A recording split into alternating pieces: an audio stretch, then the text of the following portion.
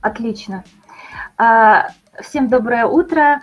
Я рада видеть всех а, знакомых а, и незнакомых мне коллег. Сегодня мы поговорим с вами о том, что мы с вами можем сделать в этот период собственными силами. Если вы ожидали сегодня от меня каких-то конкретных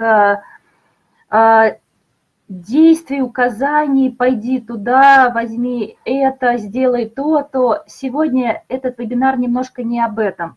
Сегодня мы будем говорить о том, как, в принципе, вырабатывать а, в себе умение принимать решения, несмотря ни на что.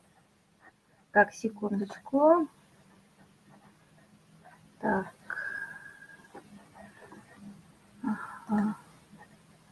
Я почему-то, секунду, у меня почему-то потерялось управление слайдами. А.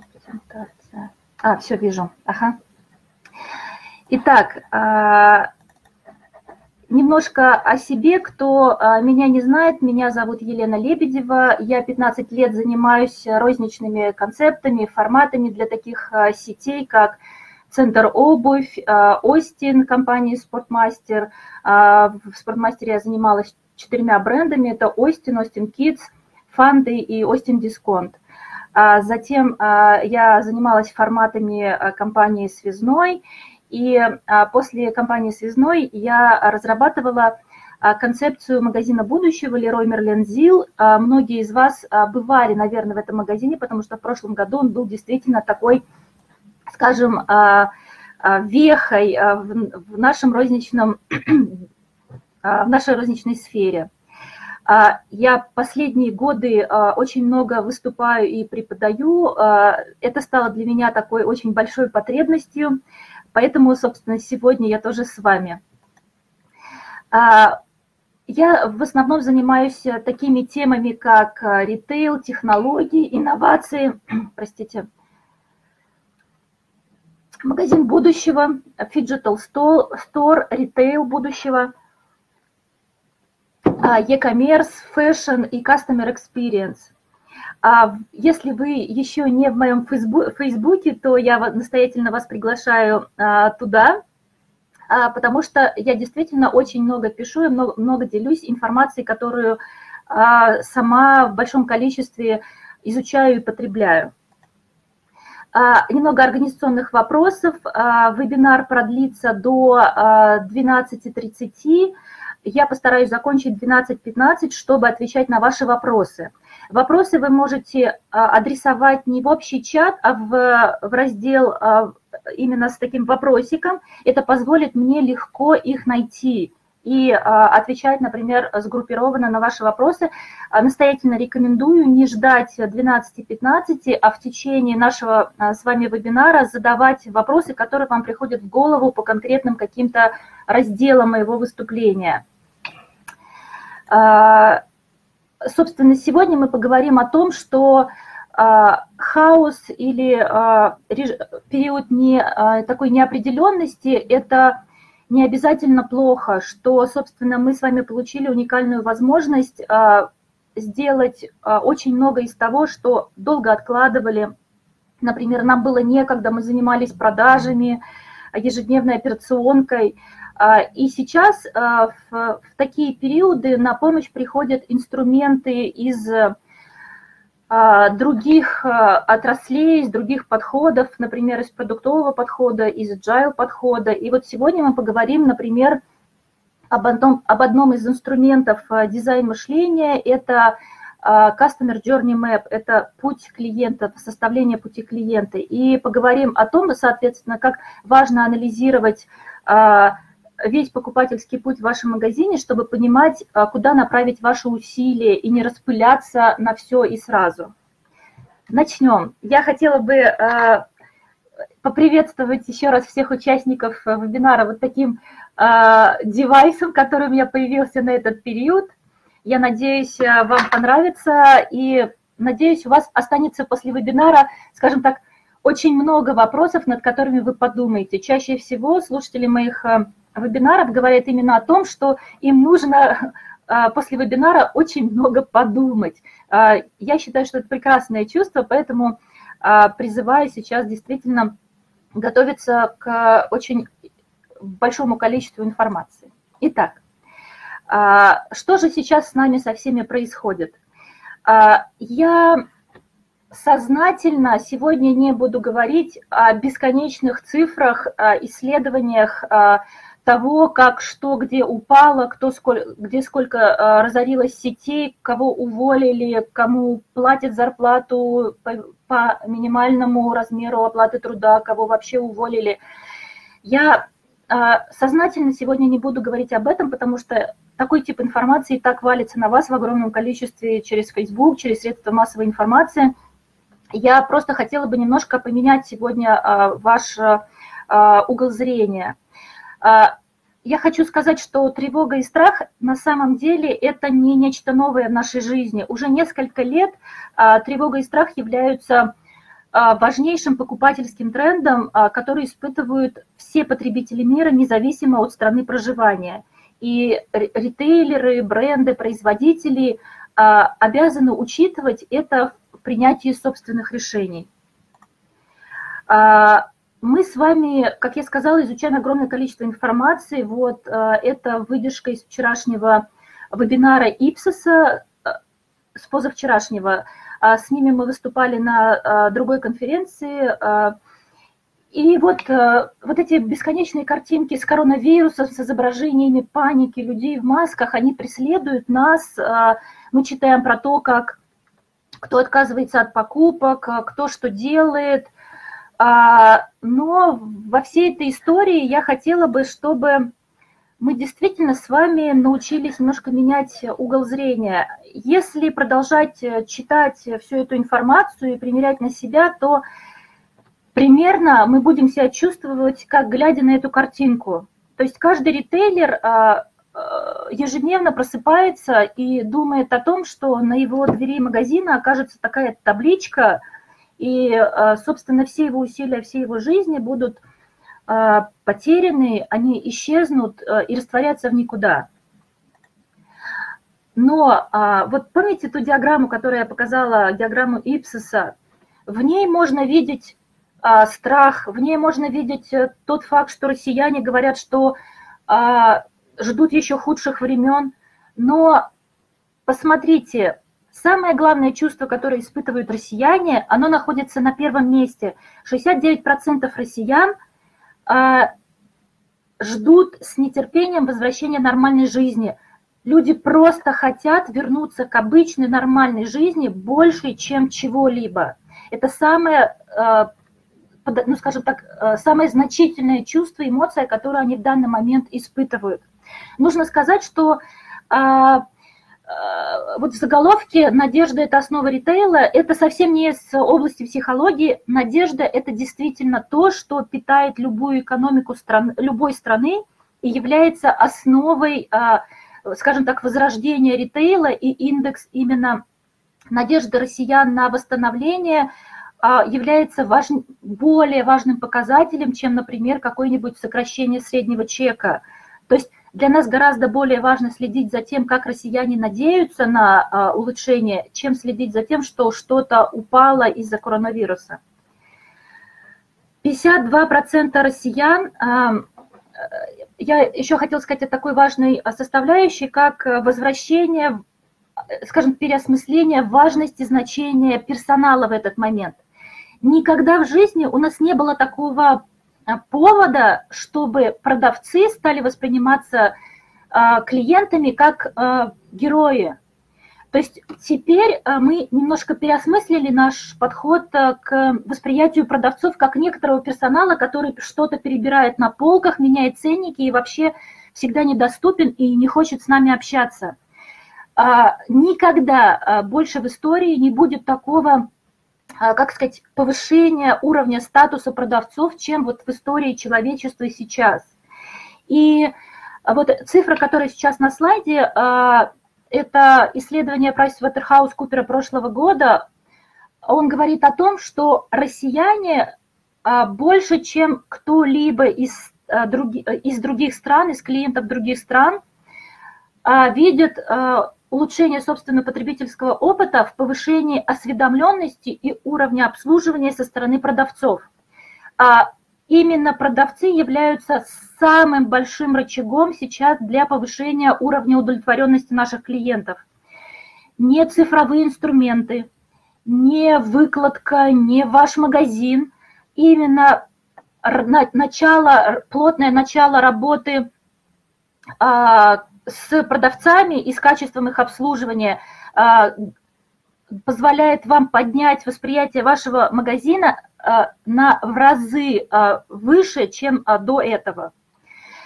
Еще такой важный момент, почему я лично считаю, что восстановление физических покупок именно в России произойдет достаточно быстро.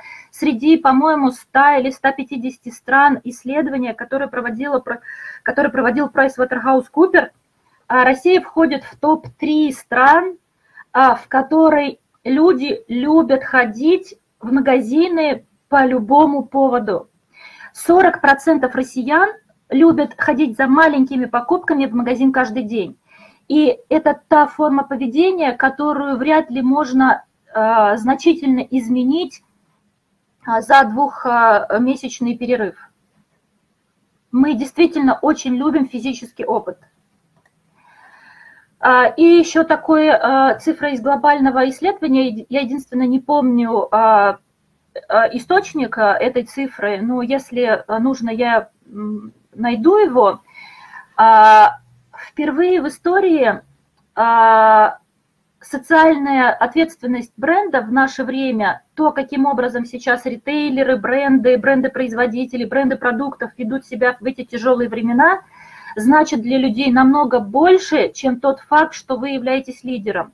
Если в докризисный период а, лидерство бренда являлось а, критерием номер один при выборе покупателей вас, то есть люди ходили куда-то, потому что они говорили, что ну, Зара вот круче всех, а, или, например, я покупаю этот творожок, потому что он самый известный, я доверяю больше – а, это редкий шанс в истории, когда покупатели пересматривают портфель своего потребления.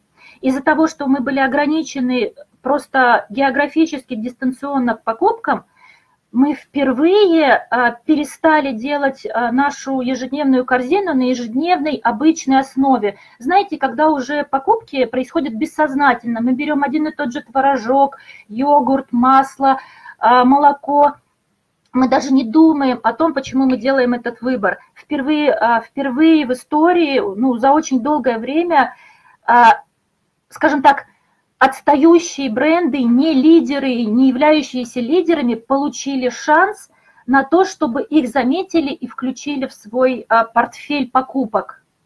В частности, например, потому что бренд очень достойно себя вел или, например, очень активно общался со, со своими потребителями в, в соцсетях. А, этот фактор имеет сейчас огромное значение.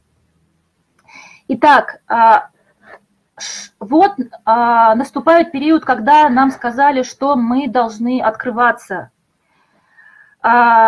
И я сейчас попробую показать вам, как смена парадигмы мышления поможет вам а, немножко по-другому а, подойти к своему открытию.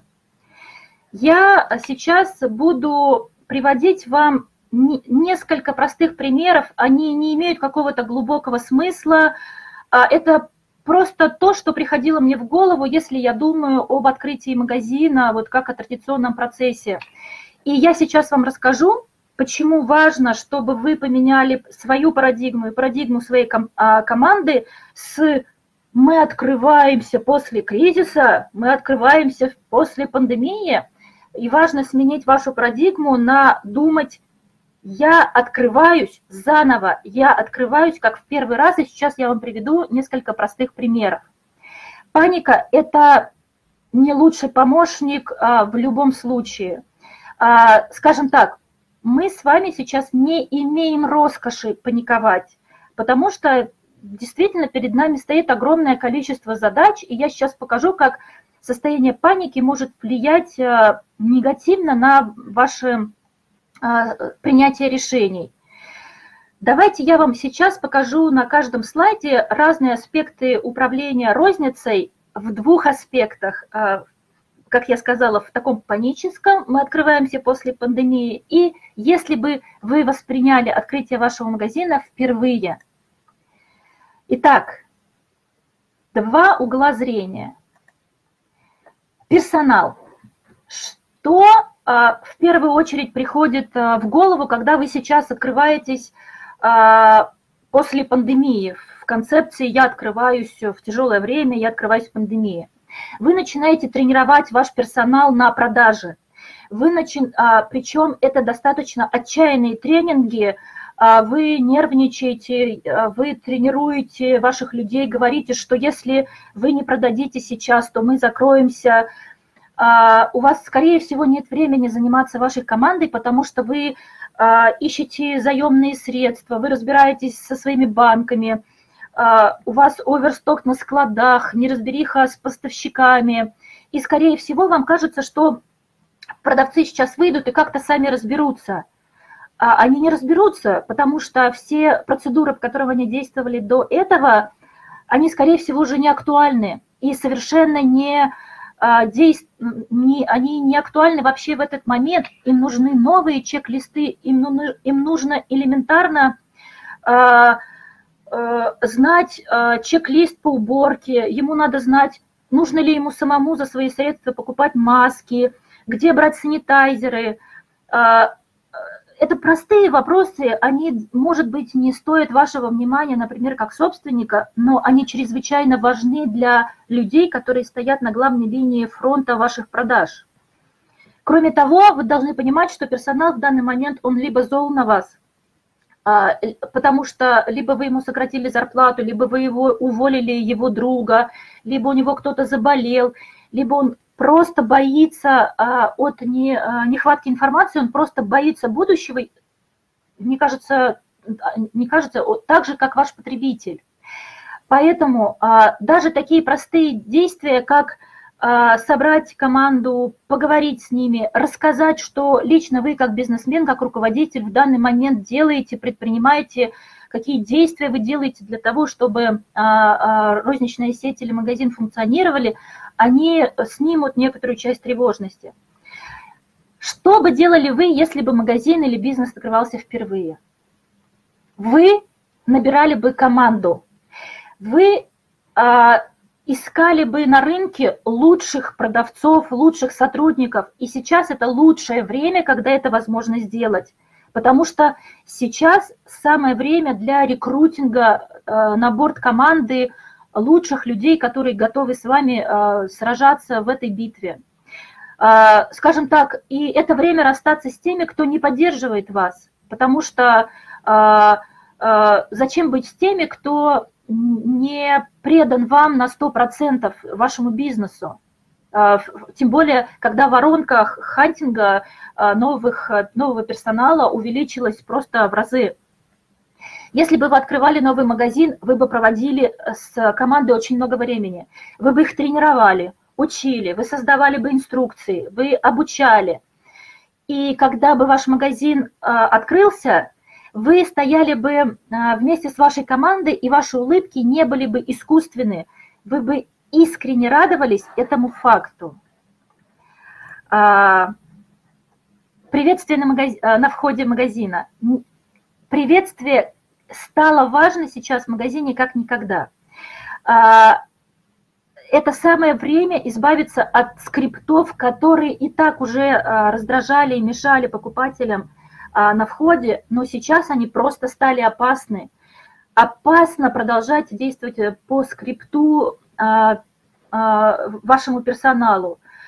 Спрашивать, вы ищете что-то конкретное, чем могу помочь? А, ходить а, хвостиком за вашим покупателем, а, это будет вызывать уже теперь не раздражение, это уже будет вызывать страх у вашего покупателя. Как если бы открылся новый магазин, и вы бы человечно относились к вашему покупателю, вы бы сказали «Добрый день, никаких, чем я вам могу помочь», а именно «Доброе утро», «Добрый день», «Добрый вечер», «Мы рады вас видеть», «Если я понадоблюсь, просто повернитесь ко мне, и я подойду. Это максимум, что сейчас а, можно себе позволить а, в таком навязчивом а, обращении к а, покупателю на входе. Общение с покупателями. Как никогда сейчас стали важны soft skills продавцов. И если выбирать а, между тренингом активных продаж и тренингом а, умения подстроиться к вашему покупателю, то, конечно, нужно выбирать именно развитие а, soft skills. В первую очередь ваши продавцы должны понимать, что поддерживать разговоры на обычном кухонном уровне, давайте признаемся, очень любим пожаловаться.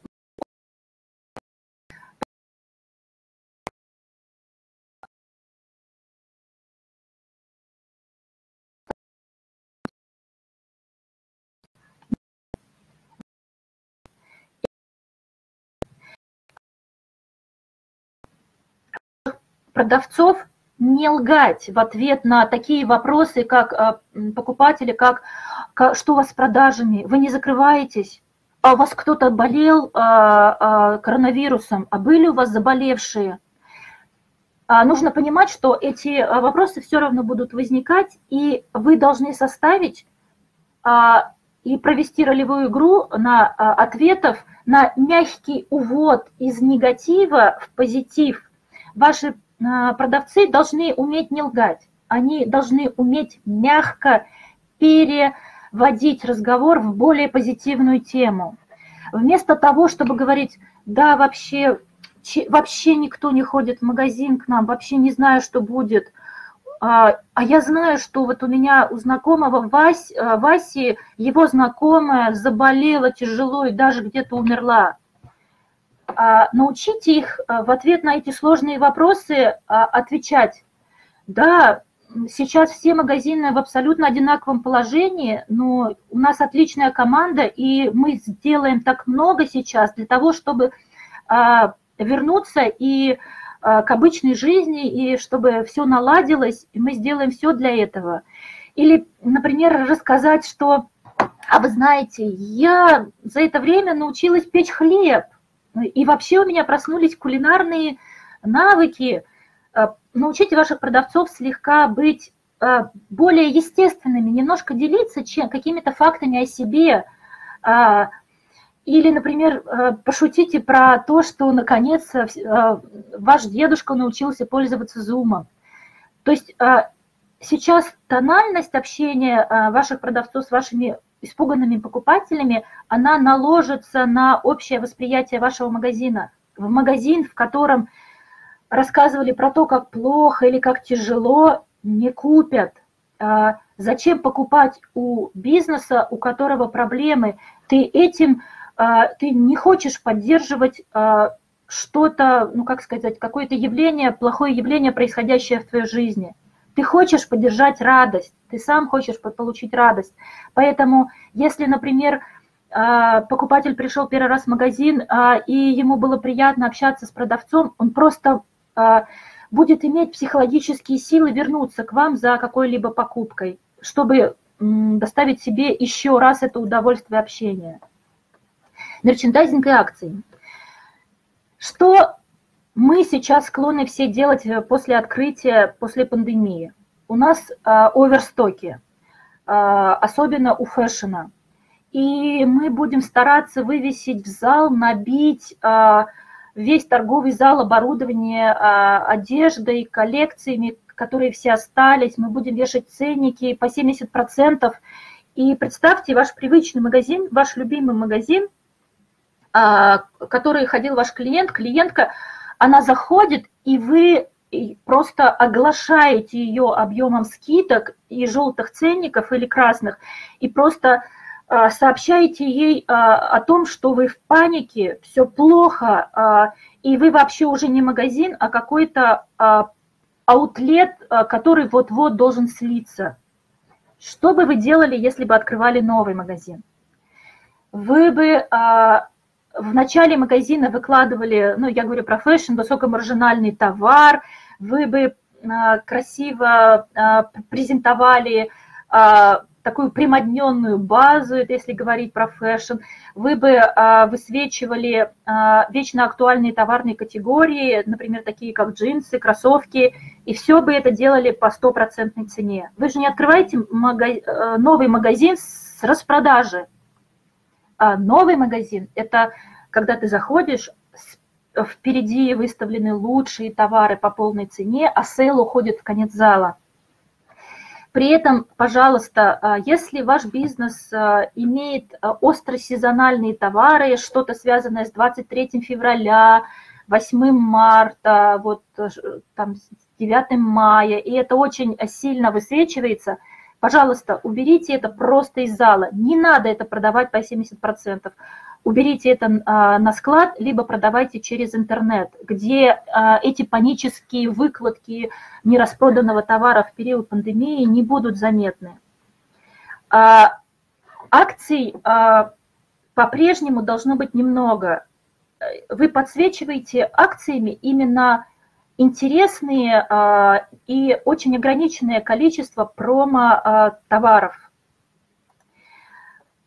я, когда искала а, пример фотографии, чтобы показать э, ну, какое-то а, неправильное поведение с точки зрения оформления акций в зале, я набирала, например, а, пятерочка, магазин пятерочка, и удивительным образом я вдруг осознала, что пятерочка уже давно прекратила нас спамить желтыми ценниками.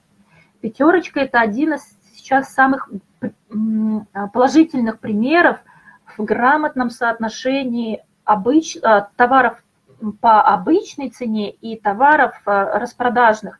Посмотрите, как аккуратно сейчас они проводят точечные акции. Работа с товаром. Если сейчас, открывая магазин после пандемии, вам кажется, что все происходит само собой, как всегда, у вас, например, по средам отгрузка, там, я не знаю, там раз в месяц инвентаризация или что-то такое, то если у вас кончились что-то с хлоркой, что пользуется особым спросом, что-то кончилось, но ничего страшного, есть другие товары, то в настоящее время такие ошибки работы с э, ассортиментом, под сортировкой, они э, не годятся именно и э, для того, что если раньше, например, ошиб, ошибки в подсортировке, нехватки товара на полке или наоборот оверстоки на полке, они ничего не сообщали негативного, эмоционального вашему покупателю, то сейчас, вы знаете, пустые полки вызывают у покупателей панику. Поэтому а, берем, меняем фокус и помним, мы открываемся заново. Мы тщательно проверяем доставку полной ассортиментной матрицы в ваш вновь открывающийся магазин. Вы не доверяете Маше, Пете, вашей складской логистике или еще кому-то. Вы несколько раз перепроверяете, наполнен ли ваш магазин после открытия. Тщательно следите за соответствием выкладки планограммы, планограмме. А, и после открытия вы смотрите за покупательскими потоками и делаете эксперименты с планировкой зала, потому что вы знаете, что когда вы впервые открываетесь, а, а, скорее всего, возможно, придется что-то переставить в торговом зале. Это естественно для открытия нового магазина. И здесь, э, здесь э, сейчас после открытия ничего не меняется. Будьте готовы тщательно следить за поведением ваших покупателей, смотреть, где у вас происходит затор, где у вас холодные зоны, где у вас горячие зоны и меняться. Здесь я не упомянула такой важной составляющей, как э, креативность ваших, э, ваших, э, вашего, вашей команды. Дайте им немножко проявить себя, сделать обалденные выкладки, назначьте там каждого продавца ответственным за какой-то отдел, а, внушите им, как они сейчас важны. Я встречала, что а, в качестве а, антикризисных мер бизнесы, например, применяли такой подход, как они передавали ведение соцсетей кому-то из персонала, кто вызывался это делать.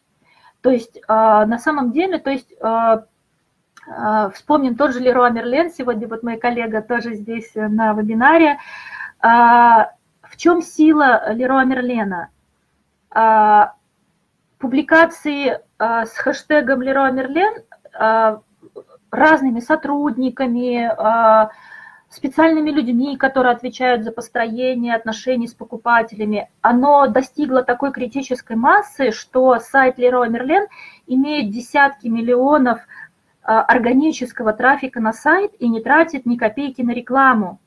А, то есть пришло время очень сильно, скажем так, задуматься о том, какое значение ваша вся команда и компания могут а, привнести в вашу, ваш вес в социальных сетях и в интернете. Мероприятие а, для открытия магазина. Если вы маркетолог, а, директор магазина, вы знаете, что новый магазин всегда имеет другой комплекс акций, чем обычный магазин уже открытый. Вот что мы склонны сейчас делать, открывая магазин. Мы открываем двери и напряженно, очень нервно стоим и ждем, чтобы трафик, кто-то случайно зашедший в торговый центр, случайно зашел почему-то в ваш магазин. А, и, скорее всего, вы будете расстраиваться, потому что конверсия сейчас а, такой, а, это, он называется entry rate, коэффициент входимости, он сейчас будет чрезвычайно низким, скорее всего. А, потому что люди, если пришли, может, в торговый центр, то, скорее всего, они пришли за товарами целевого спроса, возможно. Что вы бы делали, если бы открывали магазин впервые? Вы оформили витрины, вы, позабот... вы бы помнили о том, что вы сейчас неинтересны, вы новый магазин, вы неинтересны по умолчанию вашим клиентам, и вы приложили бы все усилия в оформление вашей витрины в качестве а, привлечения трафика. Вы бы сделали радостное оформление зала. Вы бы использовали любые креативные приемы привлечения трафика. Я знаю, даже несмотря на запреты из центрального офиса, каждый директор магазина, даже больших розничных сетей, проявляет удивительную креативность в момент открытия магазина, например, в новом городе или новом районе. Так почему бы сейчас же не проявлять ту же самую а, активность? А, и вы сообщаете о своем открытии во все трубы, во всех каналах. Вы сообщаете знакомым, вы сообщаете клиентам, вы сообщаете жителям города. То есть а, и я считаю, что поведение при открытии нового бизнеса и нового магазина сейчас гораздо более, а, скажем так, эффективно. Вот, например, музыка в зале. Я еще раз э, напоминаю, что это не чек-лист какой-то, это просто я брала любые аспекты ведения розничного бизнеса сейчас и просто показываю вам, как просто смена парадигмы в голове помогает вам по-другому сейчас принимать решения. Вот возьмем музыку. Что делает человек, открывающийся после пандемии? Он перестает платить лицензионные а, взносы за музыкальное оформление, потому что сейчас нет денег – потому что нет товарооборота, он не ожидает какого-то, а, а, я не знаю, там, он не видит а, смысла в том, чтобы платить за музыку в пустом зале, скажем так. Что делает человек, открывающий новый магазин? Он подбирает специальным образом подборку музыки с радостным особым звучанием. Это не просто типичная музыка, это особая радостная музыка. При этом а, существуют а, музыкальные подборки из а, музыкальных фондов с гораздо, а, скажем так, очень, я не знаю, там, по-моему, на 70-90% дешевле, чем а, подборки популярных мелодий. А, например, Риана вам обойдется совсем другие деньги, чем а, подборка из музыкальных стоков, но с особым настроением. Поэтому радость от открытия магазина никто не отменял. Контроль продаж. Что делает собственник в период пандемии? Он требует данные о продажах каждые 40 минут, там, не знаю, час. Вы по пять раз в час проверяете, что происходит, а, где чеки, где продажи. Вы пишете вашему персоналу. Персонал а, в десятый раз отвечает вам, что всего один, например, или два а, и то есть этот круг панический, он как домино, то есть а, и ваш э, персонал становится все грустнее, грустнее, грустнее. Что вы делаете, когда открывается новый магазин? Скажите, вы а, всегда уверены в выручке первого дня, первой недели, когда открываете абсолютно новый бизнес? Нет. Вы знаете, что в разных категориях а, ритейла а, есть разный период на освоение, захват вот этой территории. В некоторых видах категорий это неделя, а, например, в кофейнях это может быть и месяц. Месяц владельцы кофеин могут не ждать э, прямой прибыли, пока трафик не встанет э, регулярно на эту точку. А, поэтому, что я могу сказать, паника сейчас не лучший помощник, а, потому что на вас смотрят продавцы, клиенты и партнеры. А, я сказала, что я не буду сейчас вам подробно рассказывать, что нужно делать, каким способом. Я, скажем, сделаю такой обзор основных э, э, мер, которые сейчас э, мы, открывая наши магазины, должны предусмотреть. Здесь у вас на экране сейчас забавный пример плаката новых постматериалов, которые сейчас стали появляться в наших магазинах. И для того, чтобы сделать их менее устрашающими, не напоминающими про вирус. Это вот пример того, как креативно и э, по-человечески можно сообщать э, вашему клиенту о том, что в магазине необходимо соблюдать э, социальную дистанцию. Итак, приоритеты вашего внимания при открытии магазина условно можно разделить на следующие. А, пересмотреть, ваш HR-департамент должен пересмотреть все процедуры по поводу а, ну, не знаю, кадровых вопросов, возвращения, выплат, а, пособий, увольнений, законности, незаконности увольнений. Вот все вот эти вопросы у вас, например, может, некоторые продавцы просто побоятся, например, выходить.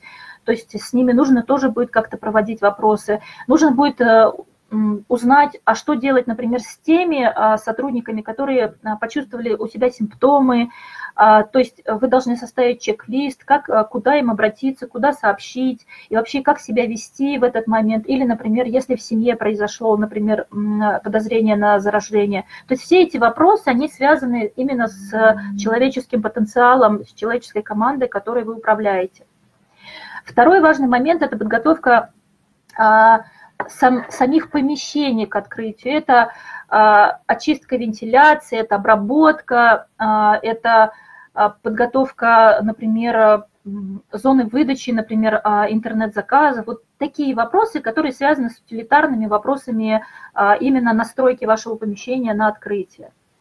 Указатели и постматериалы, ну, собственно, вы должны понимать, что либо у вас должны быть сообщения о том, какие расстояния, метки на полу, вот это все, что помогает вашему покупателю помнить о том, что например, не стоит трогать каждый товар. А, чудесные, например, аудиосообщения вот в пятерочке я услышала, которые напоминают, что, пожалуйста, а, берите руками только те товары, которые действительно собираетесь брать. А цепочка поставок, в частности, здесь, например, нужно обсуждать такие вопросы, как особые, например, процедуры при приеме товаров, вот вот такого свойства. Рабочие часы, они почему выделены отдельно? Такой, как ни странно, важный вопрос сейчас, в период пандемии. Нужно рассмотреть, во сколько, со скольки до скольки вы открыты для покупателей, со скольки до скольки вы открываете особые часы для людей с ослабленным иммунитетом, а как вашему персоналу настроиться на то, что процедуры по уборке теперь они такие большие, расширенные, и вы тоже должны это учесть либо до открытия вашего магазина, либо после закрытия магазина. То есть это теперь скажется на всех. И даже рабочие часы приема поставок, возможно, будут пересмотрены, потому что процедура несколько меняется. Вопросы, связанные с безопасностью, воровством, и, скорее всего, здесь тоже произойдут какие-то изменения а, Бесконтактные формы шопинга, любые, которые доступны вашему бизнесу, вы должны применять. Работа с товаром. Работа с товаром сюда, в частности, входят э, обновленные процедуры обмена и возврата и а, работа с товаром, а, который оставили в примерках. То есть э, здесь, скорее всего, вы тоже должны будете разработать процедуру того, как обрабатывать одежду как ее отвешивать после примерки. А, и не просто а, молча это делать, вы, обя... вы должны во всех соцсетях сообщить о том, как продуманно и безопасно вы подошли к этому вопросу. Вопросы охраны здоровья, как я сказала, чек-лист по самооценке здоровья, например, вашими, вашими продавцами – вопросы социального дистанцирования, разметки, вот это все, средства индивидуальной защиты. Ваши продавцы должны знать, где они берут средства защиты и, собственно, и до того, куда они их выкидывают после использования. А уборка и санобработка, чек-листы процедуры и тренинги персонала. Я не буду сейчас останавливаться на этих э, скучных, но чрезвычайно важных вопросах. Я а, предлагаю скачать подробный чек-лист. Я, он примерно, по я не знаю, на 10 страницах.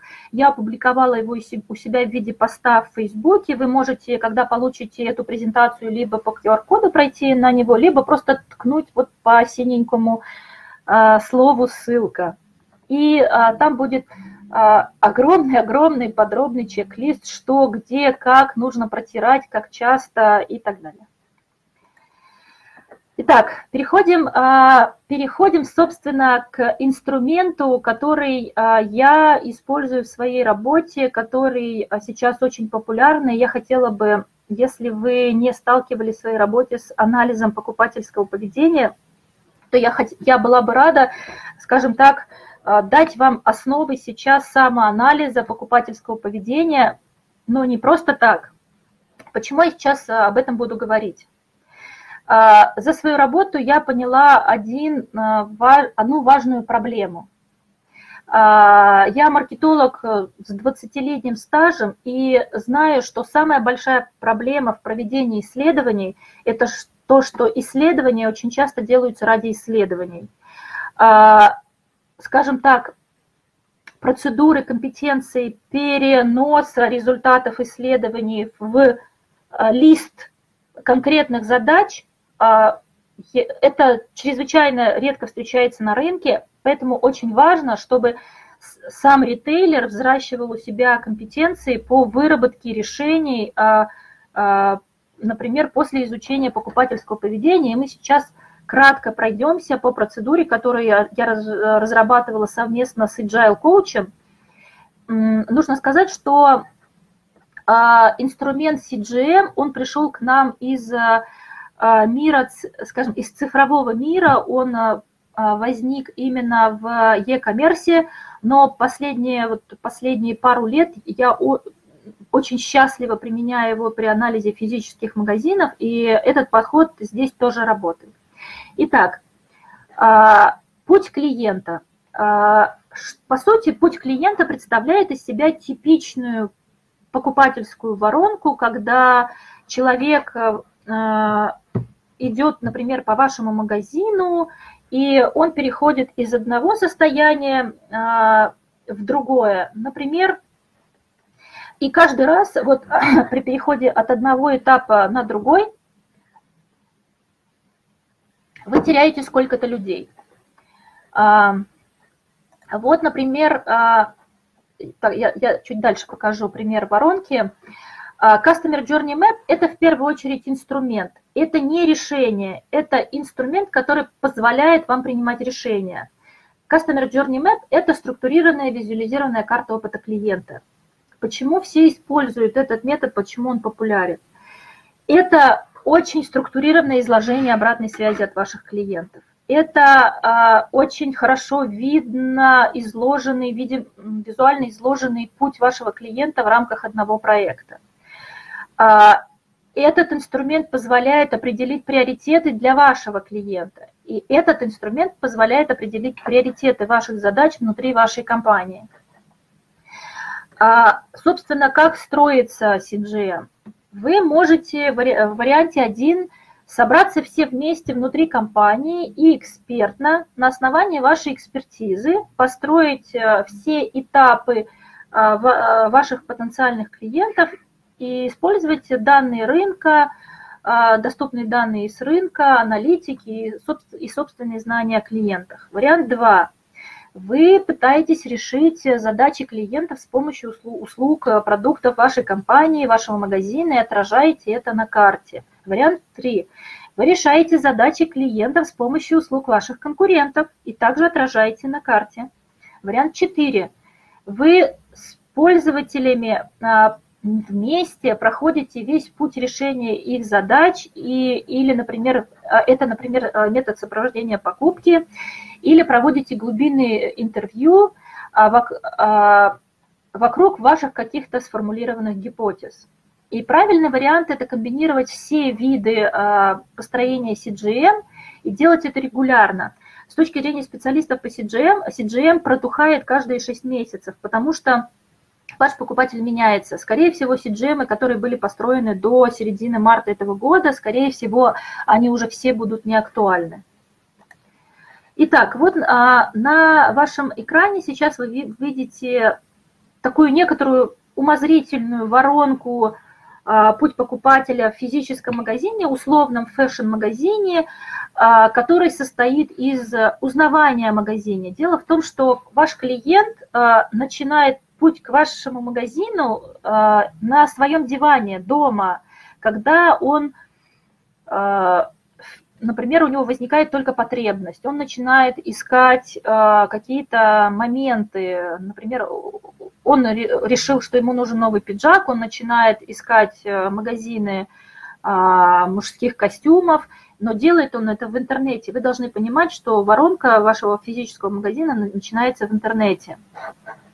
Потом он а, начинает, а, вот, например, а, вам удалось э, попасть в поле его зрения, и, и он начинает искать э, информацию о том, как приехать в ваш магазин, и а, вы не поверите, а, не все компании, не все бизнесы а, озабочены элементарно разместить информацию о вашем магазине в Яндекс справочники или в 2 GIS а, системах, которые просто позволяют ему элементарно найти ваш адрес.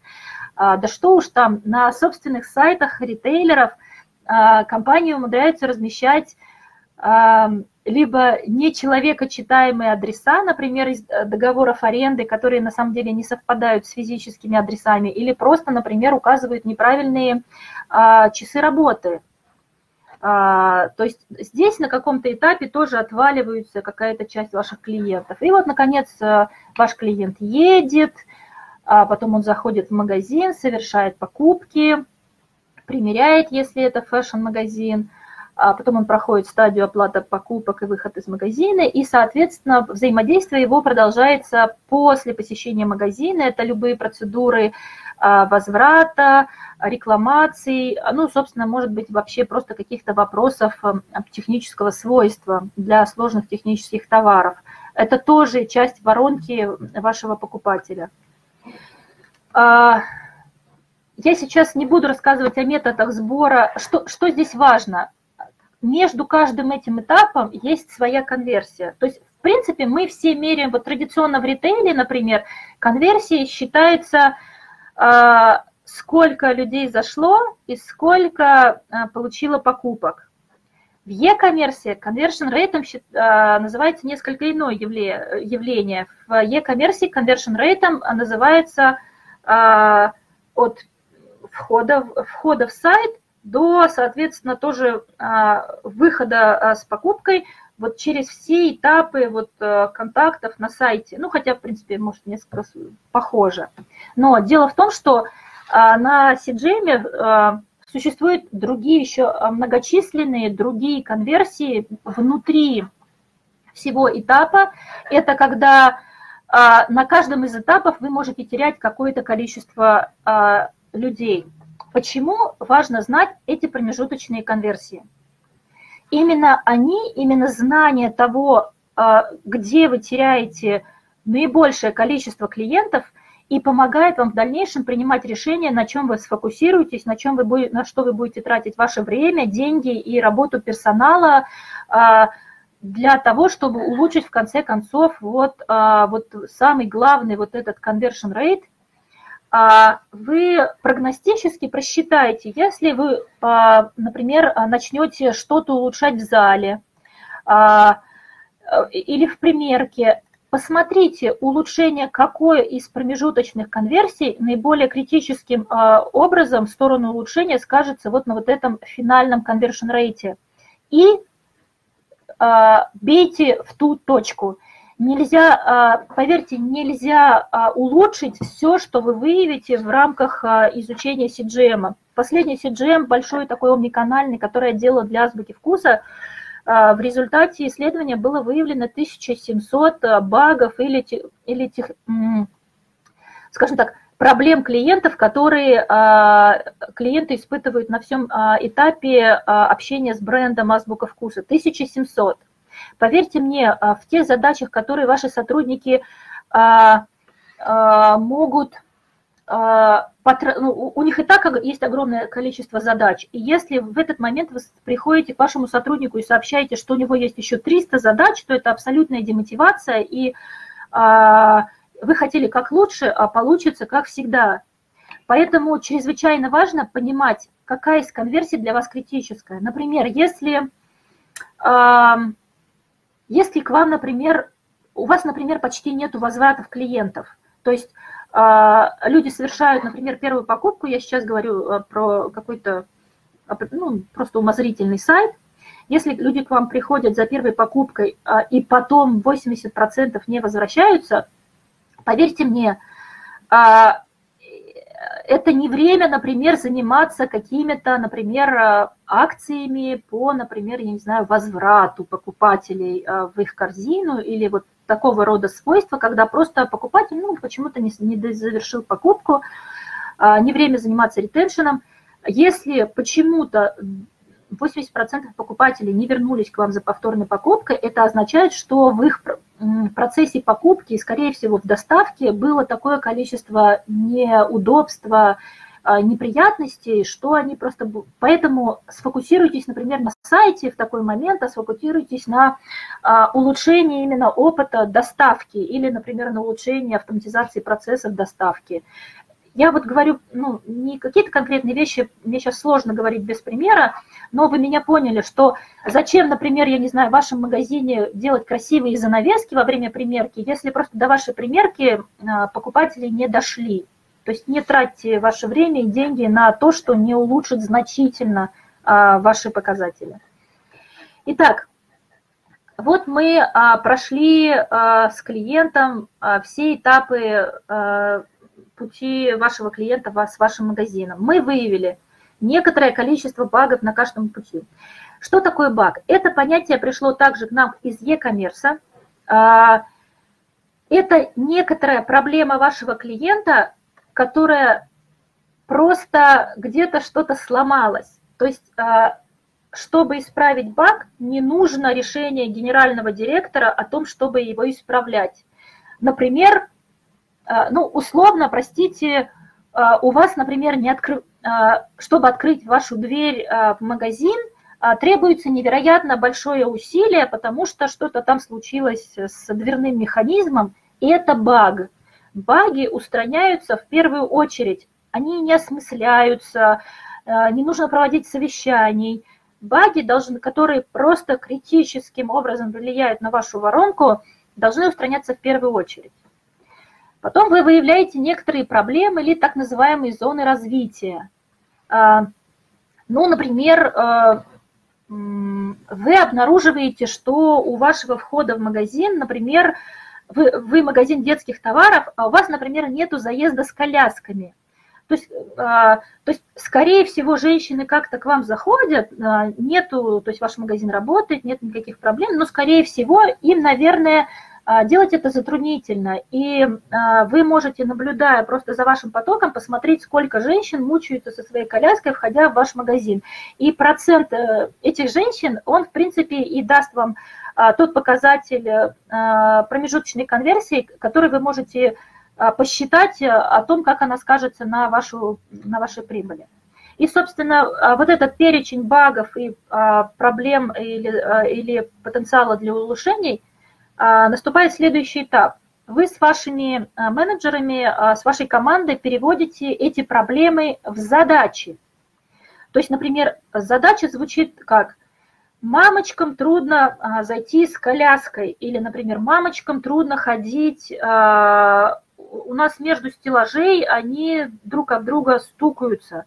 И вы переводите это в задачу а, сделать пандус э, для колясок, я не знаю, там менее, например, э, менее острый, или я забыла слово, а, или, например, вы расширяете, а, расширить проходы в магазине, например, ну, условно. То есть вы переводите язык проблем в язык задач. И поверьте моему опыту, за вас это не сделает никто и ни одно агентство, ни один консультант за вас не переведет выявленные проблемы в задачи. Затем, после того, как вы собрали задачи, я сразу предупреждаю, не нужно пугаться, их может быть сотни, их могут, их могут быть тысячи, как я уже сказала в примере с азбукой. Просто составляете список и переходите к такому этапу, как приоритизация. А, приоритизация задач может делаться разным способом. Единственным способом, которым я не советую делать приоритизацию, это а, жесткий приказ. А, то есть, скажем так, приказ пойти и сделать все не работает. Более того, нужно прекрасно понимать, что, скажем так, наваливание задач своего, своих сотрудников вовсе не является проявлением, я не знаю, высоких навыков, высоких, высокого уровня управленческих навыков, а, потому что если вы смогли нарезать вашему сотруднику 500 задач, это всего лишь означает, что вы совсем забыли о том, что управляете человеком, а не роботом. А, а, я не буду скрывать, что сейчас я немножко вас, вас пропитываю идеями agile подхода, как бы, как бы не принимались идеи пока, к сожалению, Джайла российским сообществом, я вот а, пытаюсь просто до вас донести, насколько важный, а, важен человеческий фактор в agile подходе. В agile подходе считается, что прекрасный, самый лучший план, созданный а, каким-то одним начальником, который позволит на 97% достигнуть вашей задачи совершенным образом, считается, что он а, считается, что он менее важен и меньше даст вашему бизнесу, чем тот подход или тот план, тот, то видение, которое создали сами ваши сотрудники, но он позволяет добиться всего лишь 85% ваших задач. Но а, во втором случае достижение ваших задач а, стремится к 100% вы сможете выполнить этот план, потому что его, а, сделали сами сотрудники, и, б, они готовы за него впрягаться. Совершенный 97 или 100% план, который предлагает а, а, сам один руководитель а, самолично, скажем так, вероятность его выполнения очень сильно начинает стремиться к нулю несмотря на все совершенство подхода и экспертизы, например, этого руководителя. Ну, возвращаясь к приоритизации задач, итак, вот у нас есть задачи, мы выписали их в список и расставляем их по шкале по двум таким шкалам приоритизации. Это дорого, дешево, просто и сложно. Этот подход, не буду скрывать, вот он пришел из продуктового подхода, и таким образом а люди, которые занимаются разработкой программных продуктов цифровых, а таким образом они распределяют свои задачи на так называемые спринты, например, на неделю, на две. Таким образом они распределяют задачи. Итак, вы распределили задачи по а, двум этим шкалам. У вас получилось 4 квадрата, в которые вы поместили ваши задачи. У вас получился квадрат дорого-сложно, а, дешево-сложно, просто дешево и просто дорого. Итак, что, а, что мы делаем? Во-первых, помните, я говорила про баги? Их не приоритизируют. Баги просто берут э, э, в исполнение и устраняют, э, потому что они являются значительным препятствием для вашего клиента. Но что мы делаем с задачами, которые попали в это поле приоритизации? Итак, квадрат дорого-сложно просто забываем и выкидываем, как эти задачи, какими бы привлекательными они не казались. и просто забываем и не, не мучаемся. Если сюда попали задачи стратегического уровня, то, скорее всего, вы будете решать их немножко на другом уровне, другими методами, другими способами. Квадрат просто дешево. Их выполняем сразу после багов. То есть если, если существуют задачи, которые устраняются за ну, я не знаю, очень быстро, и ваша команда видит, что это очень просто и быстро, то если такими методами легко улучшить опыт вашего клиента, то делайте это сразу же, не откладывайте в долгий ящик. Итак, у вас осталось два квадрата, просто дорого, сложно и дешево. И, собственно, э, здесь э, все очень просто. Мы рас, рассортировываем задачи, попавшие в два эти квадрата, а, во-первых, по перечню значимости, ну, например, а, а, какую-то задачу вы как эксперты вашей компании оценили как наиболее влияющую на, например, на ваш товарооборот потенциальный, то это вот первые задачи. И по убыванию, например, по влиянию на товарооборот, если товарооборот является важнейшим KPI вашей компании. Ну, это не везде так. Я должна еще сказать о том, что CGM, а, он на самом деле это такой не застывший инструмент. Вы можете делать CGM а, для разных абсолютно важных групп вашей компании. Это может быть клиентский CGM, это может быть CGM сотрудника, это может быть CGM поставщика. Если у вас, например, а, вы чувствуете, что есть какие-то затруднения, например, в взаимоотношениях поставщиков, они отваливаются, или у вас очень много рекламаций в взаимоотношениях, или ну, что-то неладно, то а, вполне вот а, это самое, например, это то есть самое нужное применение CGM, инструмента CGM вот в такой период. Уровень сотрудника в стратегиях крупнейших компаний мира, России, я все чаще встречаюсь с тем, что в настоящее время а, улучшение клиентского опыта даже не рассматривается отдельным проектом без улучшения опыта сотрудника. Нельзя улучшить опыт клиента, если под улучшение какой-то конверсии а, покупательской воронки ваш сотрудник получил 500 процедур. А, это так не работает. А, легко и удобно должно быть и клиенту, и сотрудник должен этот а, легкий опыт для клиента иметь возможность легко осуществить.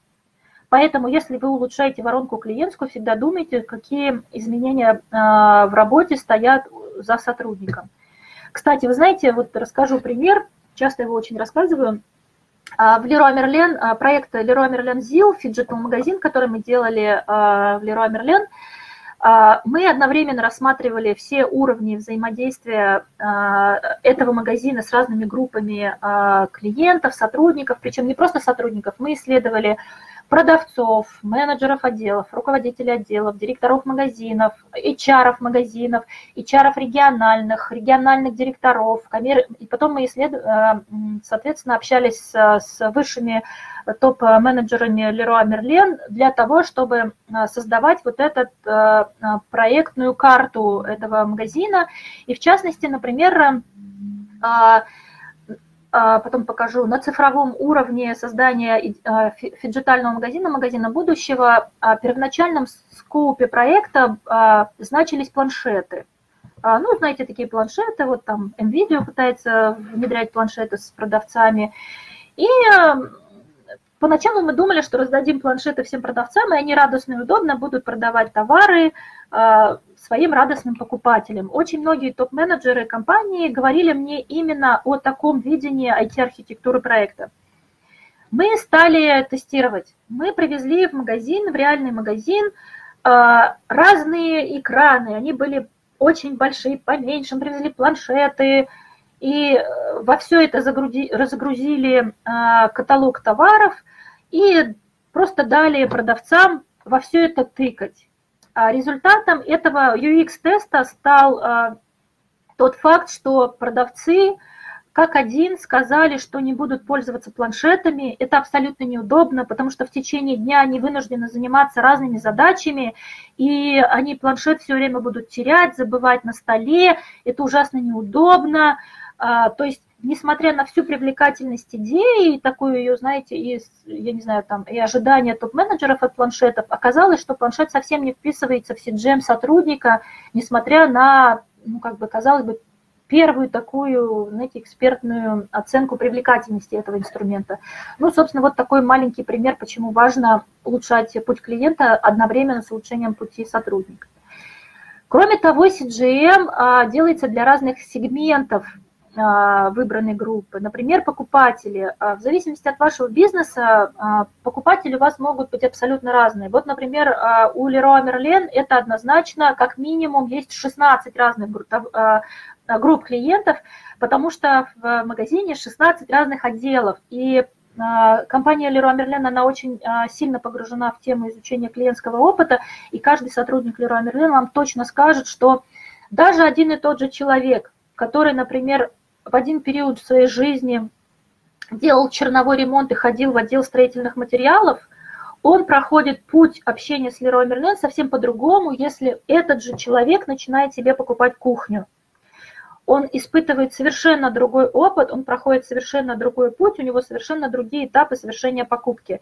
А вот э, э, вот Леруа Мерлен, как огромный гипермаркет, вам точно подтвердит, что даже одни и те же люди, находящиеся, а, скажем так, на разном этапе своих покупок, это просто абсолютно разные люди с точки зрения поведения.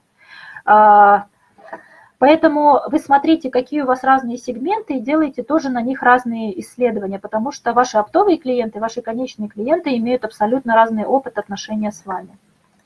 Кроме того, а, CGM строится на разных, а, скажем так, уровнях взаимодействия с вашим а, брендом, с вашим магазином. А, в данный момент вот самой привлекательной для меня теорией является наличие трех уровней контакта с розничным брендом. Это вашего клиента. Клиент в розничном магазине контактирует на трех уровнях. Он контактирует с вашим брендом физически, он контактирует с вашим брендом, а, ну, он имеет цифровой опыт контактов с вашим брендом, это соцсети, сайты, мобильные приложения, а, даже, например, написание в чат-бот, это тоже цифровой, цифровая точка контакта, хотя такая, сейчас поясню. И, соответственно, человеческие точки контакта – это то, каким образом, обращаясь к кому-то, ваш покупатель а, в ответ получает тоже какой-то ответ – и вот э, с точки зрения чат-ботов а, или, например, голосовой коммер... ну, каких-то приемов голосовой коммерции, или, например, а, я даже не знаю, звонок в колл-центр я называю человеческими точками контактов, потому что даже разговор, а, даже разговор с, с Алисой на самом деле человеком воспринимается очень личный. Разговор а, разговор с цифровыми, с голосовыми помощниками по исследованиям люди воспринимают э, как э, разговор с членом семьи. Алиса, а, я, я не помню, как... Э, ой, Алиса вот вылезла, потому что я ее позвала. Это очень мило. Так, Алиса, спрячься. Так, как мне ее убрать, боже. Она не хочет убираться, представляете? Боже. Так. Так. Окей. Так, боже, как мне убрать Алису? А все.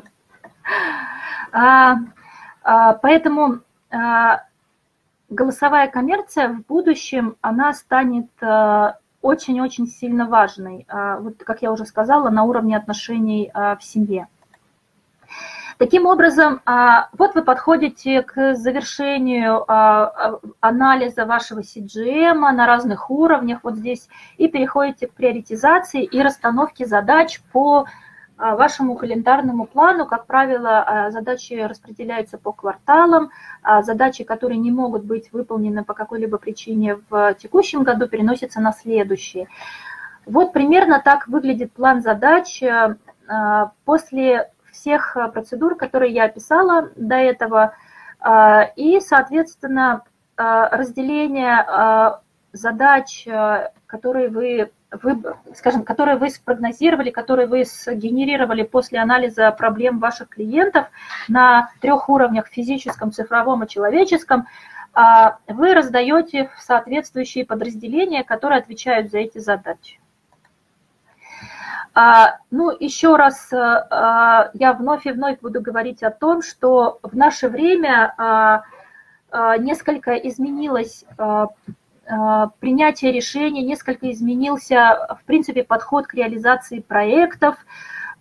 Сейчас достаточно рискованно, я бы сказала, опасно переходить от э, экспертной, например, гипотезы об улучшении чего-то вашим магазином, вот, скажем так, вот, я не знаю, например, выработка идей, вот этот этап, переходить сразу к масштабированию, это достаточно рискованно, потому что э, если что я и поняла, слушая экспертов со всего мира, читая огромное количество аналитической информации, э, в мире не существует сейчас ответа на то, что произойдет э, даже в следующем месяце.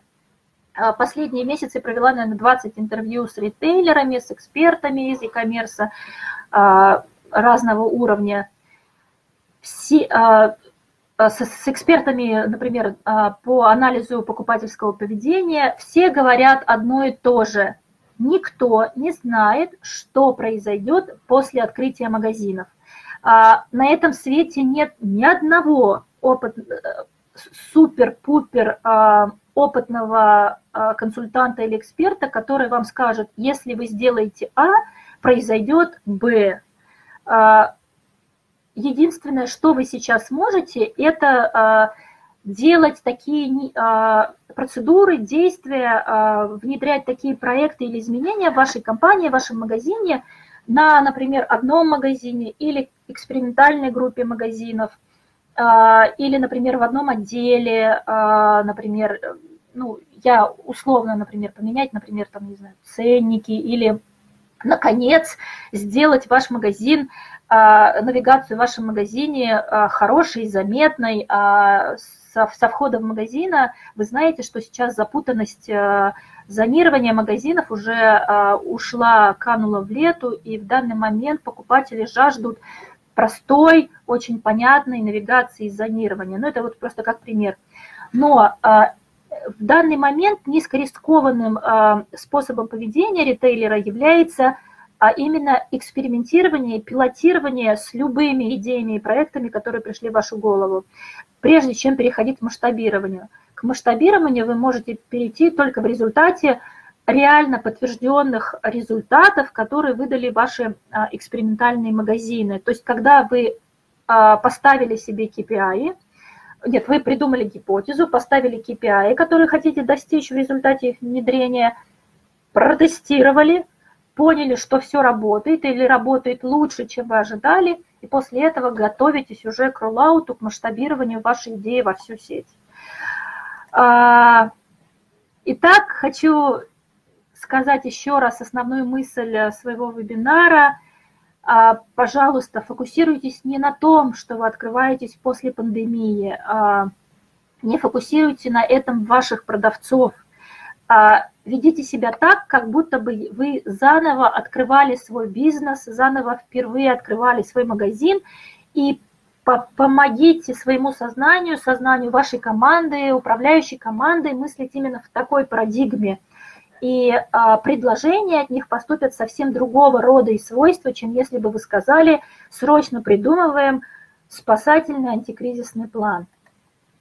А, собственно, небольшой, небольшая минутка рекламы. А, я а, работаю сейчас на собственное агентство «Лебедева консалтинг». А, мы занимаемся тем, что создаем форматы, разрабатываем или трансформируем розничные форматы и розничные концепции магазинов, основываясь не на собственной исключительно, например, экспертизе, вкусах или трендах в дизайне.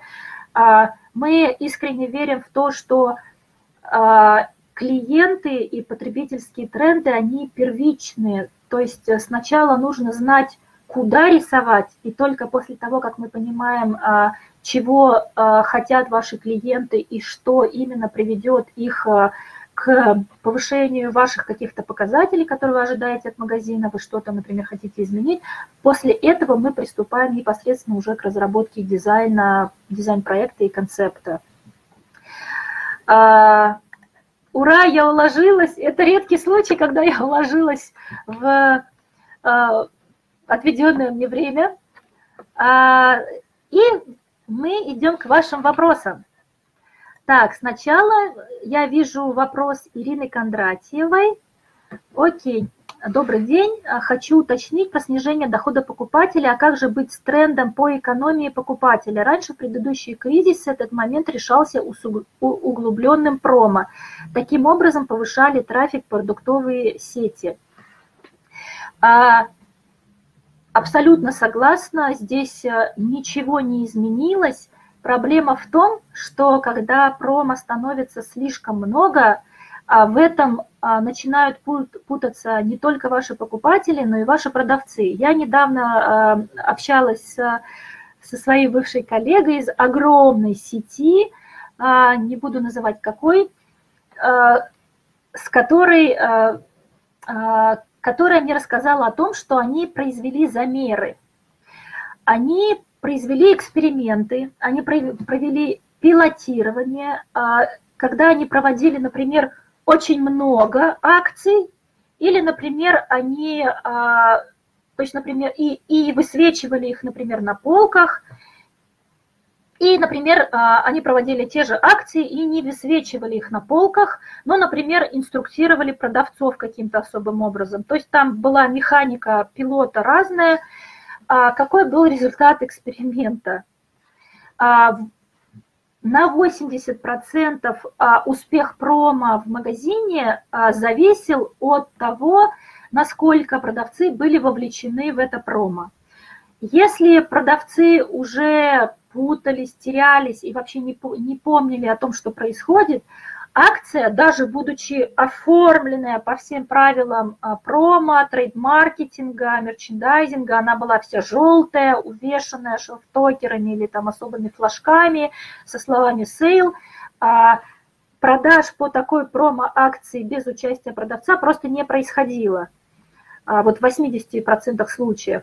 Поэтому, и, а, кстати, я, по-моему, в позавчера еще говорила с директором по маркетингу еще одной, например, бьюти на этот раз сети, а, который говорил абсолютно то же самое. Эта сеть была известна своими бесконечными скидками, бесконечными акциями, где тысячи акций встречали вас в магазине, и они в какой-то момент заметили, что эффективность промо упала, потому что потребитель просто перестал а, реагировать на этот триггер. И они делали целый реконцепт собственной сети оформления а, торгового зала, а, где одной из важнейших частей было снижение визуального шума акций в их торговой точке, и им это помогло.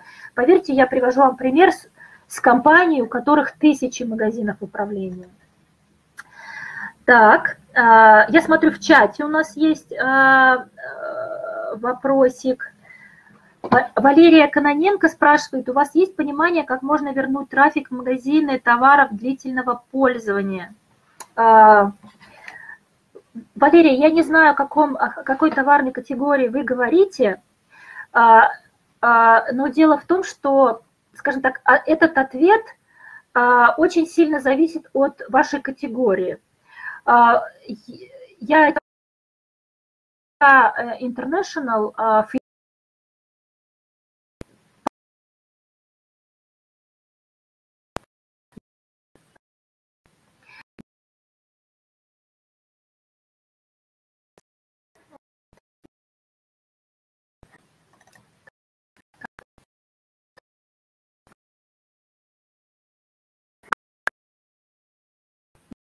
исследование то, насколько в каждой категории товаров покупатели склонны а, выбирать ответ «покупаю только онлайн», «покупаю только офлайн» или «покупаю в обоих каналах».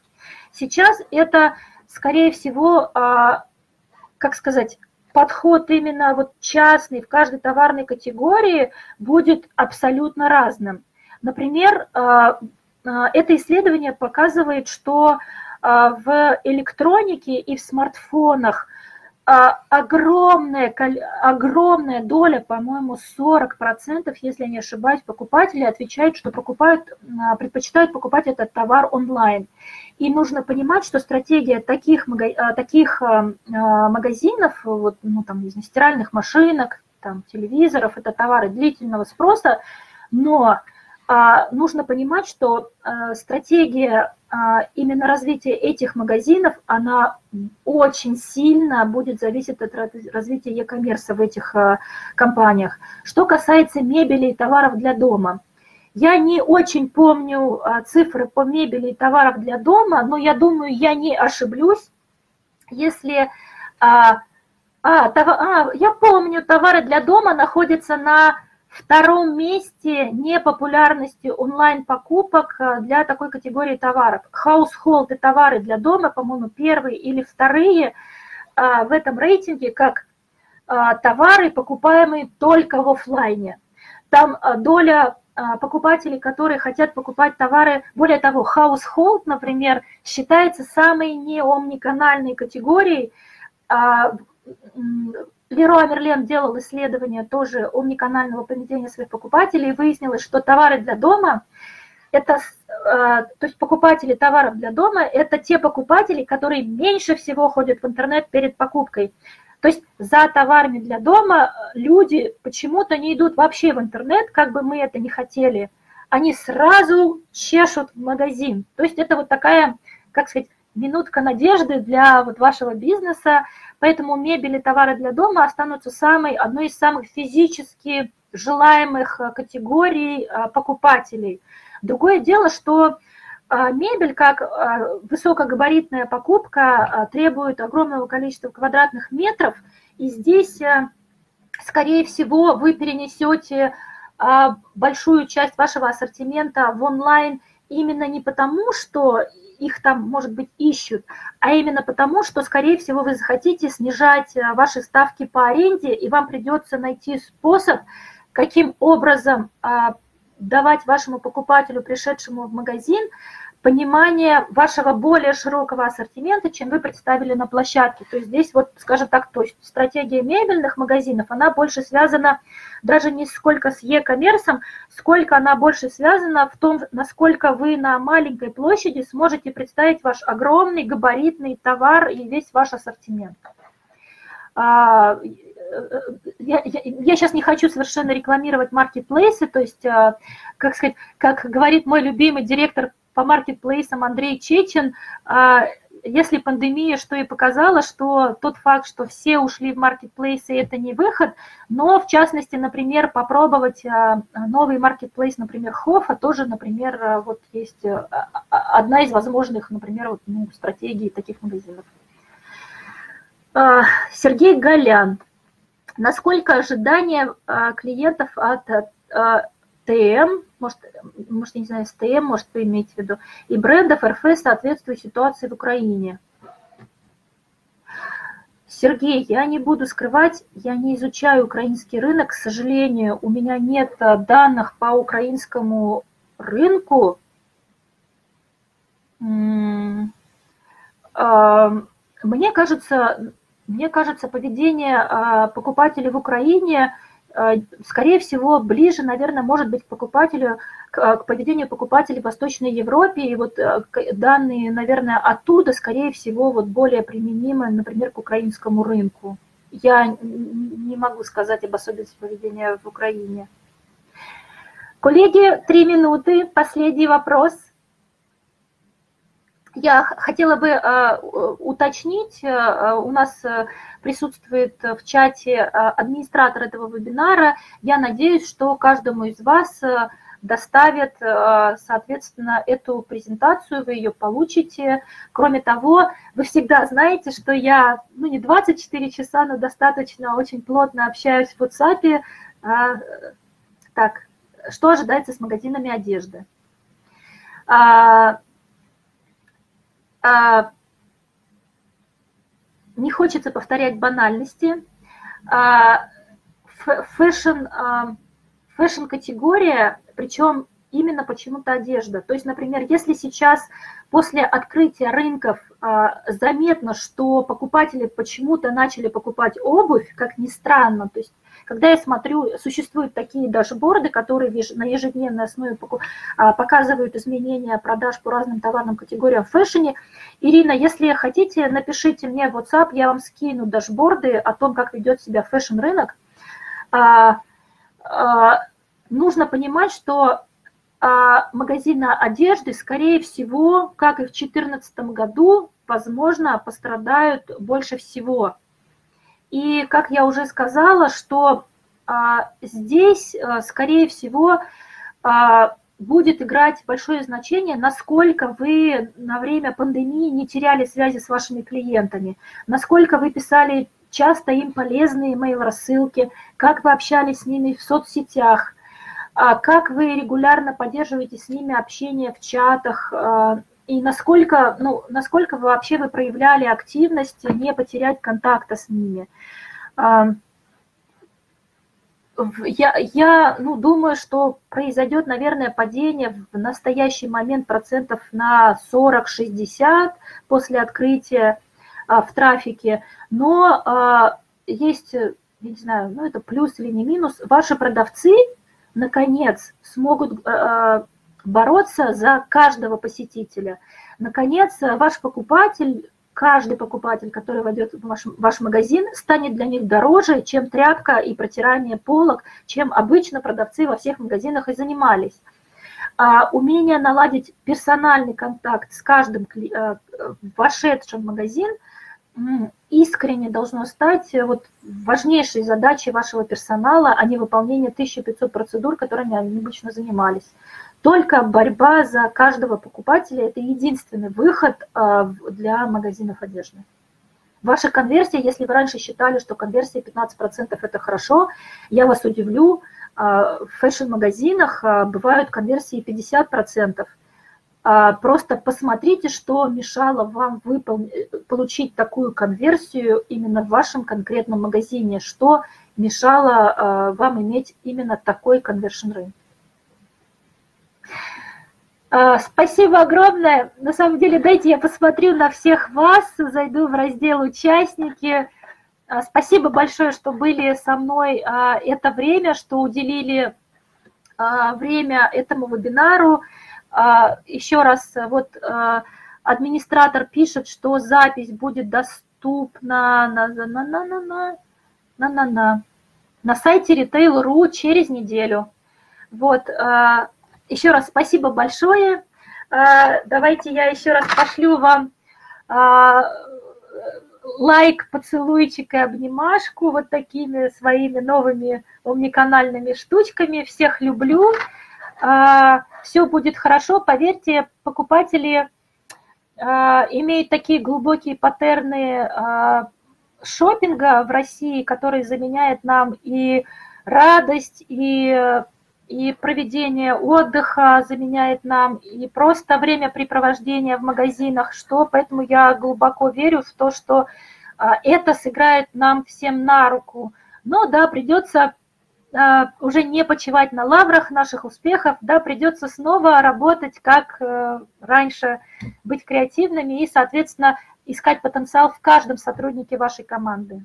А, поверьте мне, они вам сильно помогут, если вы попросите. Спасибо. Рада была всех э, видеть и слышать, ребята. Пока.